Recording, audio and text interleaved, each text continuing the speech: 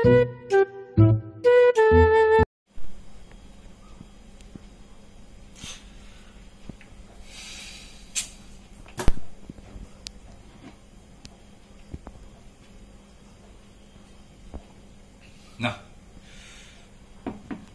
এইভাবে লেখালেখি হয় না।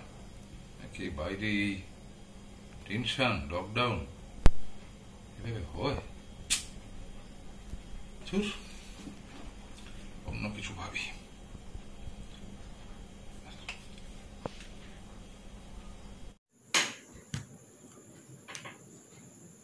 আরে। হ্যালো। হ্যাঁ সৈকত দা আমি রাজা বলছিলাম গো। কি খবর? কেমন আছো? হ্যাঁ বলো বলো।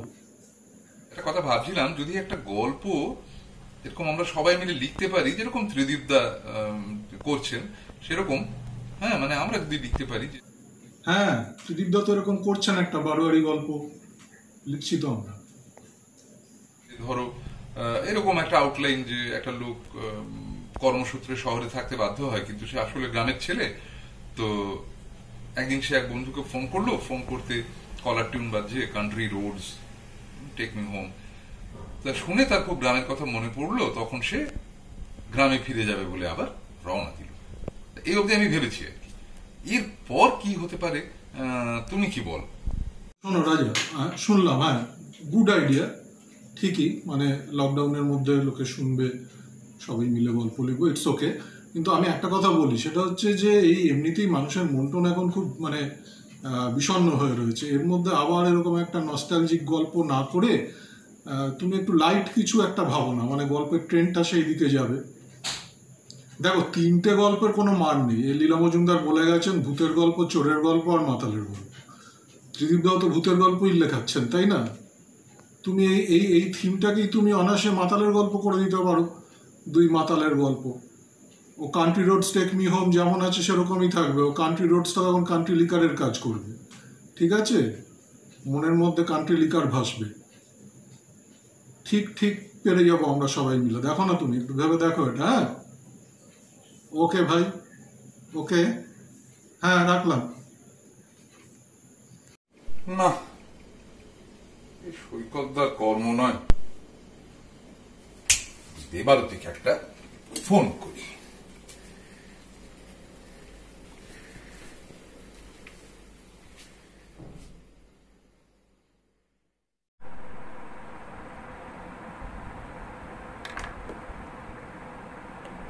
হ্যাঁ রাজাদা, বলো, কি খবর?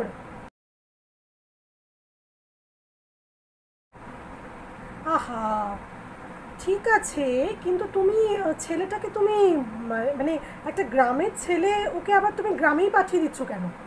লেখো যে কলকাতার রাস্তাঘাট চেনে না, রাত্রিবেলা সে ঘুরতে ঘুরতে চলে গেছে কুমোরটুলির দিকে।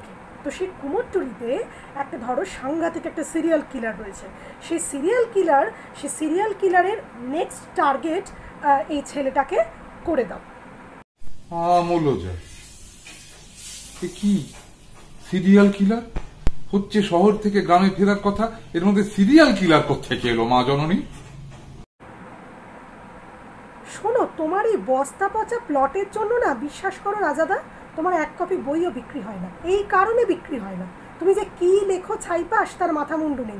দূর দূর, তোমাকে ভালো একটা মানে সুন্দর একটা বাজার চলতি প্লট বললাম তো, সেটা তোমার পছন্দ হলো না। যা মনে হয় তাই করো। আমাকে বিরক্ত করো না তো, জ্বালিও না আমাকে। যাও। সিরিয়াল কিলারের নিকুচি করেছে। এদের দিয়ে হবে না। বরং অভিককে একটা ফোন করি। হ্যাঁ অভিক! হ্যালো, কে? রাজাদা? আগ্রু কি খবর, সব ভালো? না? আচ্ছা ঠিক আছে। বাড়িতে কেমন আছে? কোয়ারেন্টিনে আছো? না বাইরে বেরোতে পারছ? বেরোতে পারছ? চমৎকার চমৎকার। ঠিক আছে, কি চাই? গল্প। কেন? আচ্ছা। তারপর? ওই, কি খেলি? হ্যাঁ না, তোমাকে না আপনি আপনাকে না, বলুন হ্যাঁ। বাহ নিশ্চয় ইয়াং ছেলে, দেখছে ভালো, তারপর, আহা, এই তো ওরকম ওরকম ওরকম ওই জন্য বলেই আপনি গান গান। ওটি আপনার লাইন, গল্প লেখা আপনার লাইন নয়। কি করবেই শুনুন। ছেলেটাকে তুই হাসছিস কেন? কত কাজের কথা বলছি খ্যা খ্যা খ্যা খ্যা। হ্যাঁ ছেলেটাকে আপনি পাঠিয়ে দিন হচ্ছে ইয়েতে। ধরুন জঙ্গলের মধ্যে দিয়ে যাচ্ছে বাড়ির দিকে যাচ্ছে, পালিয়ে যাচ্ছে, কোথাটা যাচ্ছে। ধরুন তারাপীঠে মহাশ্মশান। শ্মশানের মধ্য দিয়েও যাচ্ছে। না না, শ্মশানে পৌঁছয়নি, তার একটা জঙ্গল। ঘন জঙ্গল, তার মধ্যে দিয়ে যাচ্ছে যাচ্ছে যাচ্ছে, হঠাৎ একটা মন্দির। অন্ধকার পাথরের মন্দির, গায়ে শ্যাওলা, কেউ নেই। দূর থেকে দেখা যাচ্ছে তার ভেতরে একটা প্রদীপ জ্বলছে। চোদ্দ ছেলে মাইরি যে গল্পই দেই যে ক্লুই দেই সেই শ্মশান সেই তন্ত্র সেই হাড়ি কাঠ সেই বলিদান আরে আউট অফ দ্য বক্স কিছু ভাবতে পারছ না? অদ্ভুত ছেলে। আরে ধর মশাই কিছু বোঝেন না গল্প লিখতে যাচ্ছে রাখুন তো সময় নষ্ট করবেন না প্লিজ মায়েরি হ্যাঁ হ্যাঁ। একটাকে দিয়ে যদি কিছু হয়। বিনোদকে একটা ফোন করি। না ভিডিও কল করি। বুঝিয়ে বলি মুখোমুখি হ্যাঁ রাজাদা বলো না আমার তাহলে একটা সাজেশন আছে। যদি তুমি ধরো ছেলেটাকে গ্রামেই পাঠাবে, তাহলে চুরুলিয়াতে পাঠাও না।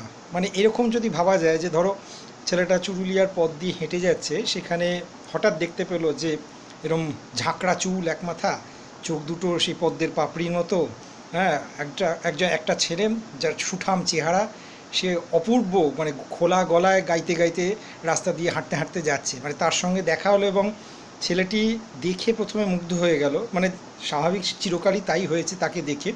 এবং তারপরে মানে তাকে আর বুঝতে এক সেকেন্ড সময় লাগল না যে যে সুদর্শন পুরুষটির সঙ্গে সেই মাত্র মানে সামনাসামনি হয়েছে সে আহ, মানে আমাদের বিদ্রোহী কবি কাজী নজরুল ইসলাম এটা যদি করো আমার মনে হয় সব থেকে বেশি ভালো হবে।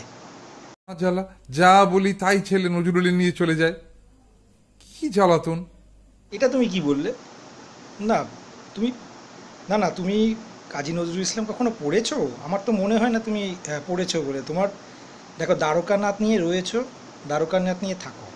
নজরুল অত সোজা জিনিস না। না মানে না না না, আমার আর আমার আর কোনো, এই নিয়ে আর তুমি যেটা বললে, এরপরে আমার, তোমার সঙ্গে কথা বলার কোনো আমার ইচ্ছে নেই। সরি আমি আমি কথা বলতে পারছি না। রেগে গেল কিসে? কি জানে বাবা।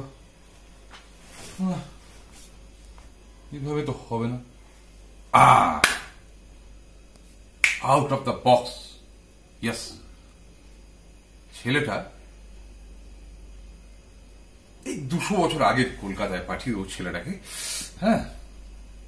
এবার ও চলে যাচ্ছে ট্যাঙ্ক স্কোয়ারের পাশ দিয়ে সোজা রানী নদীর গুলি, এক নম্বর বাড়ি ইউনিয়ন ব্যাংকের অফিস আঠেরোশো উনত্রিশ সাল। গেছে ওখানে, আর ব্যাংকের সিঁড়ি দিয়ে নেমে আসছেন একজন মানুষ, মোটা গোপ ভারী যোগাচাপ কান দ্বারকানাথ ঠাকুর।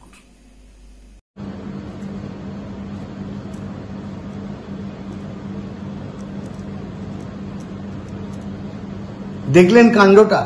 ডিসগাস্টিং এরা মানে নিজেদের বাইরে কিছু ভাবতে পারে না। একজন নিয়ে গেল মাতাল, আরেকজন নিয়ে গেল নজরুল, একজন নিয়ে গেল শ্মশানে, তো আরেকজন নিয়ে গেল দ্বারকানাথ। আবার কেউ বলল, তাকে এ করো। মানে তার সঙ্গে একটা নরবলি টরবলি কিছু একটা জটিয়ে দাও। মানে আমি বলছি, এরা ভাববে আউট অফ বক্স কি করে ভাববে? এত ঝামেলার কোনো দরকার নেই। সোজা ওই ছেলেটাকে নিয়ে যোগমামা চলে যাচ্ছেন কক্সবাজার একশো পঁচিশ কিলোমিটার লম্বা বীজ দৌড়চ্ছে তো দৌড়চ্ছে। চেজিং সিন মার কাট